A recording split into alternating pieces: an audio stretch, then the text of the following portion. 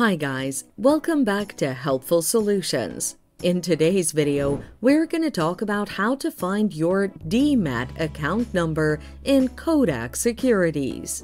Watch the video until the end to learn the various ways you can do this and more. Method 1. Visit www.kotaksecurities.com on your web browser. The link is in the description. Log into your account by filling in the required details. Click on the More tab at the bottom of the home page. Go to the Settings section and tap on the Profile tab on the screen.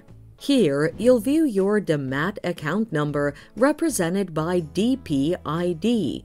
You'll also see your credit app on the screen. Method 2.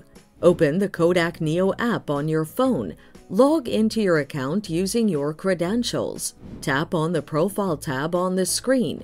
Click on the Additional Services section on the profile.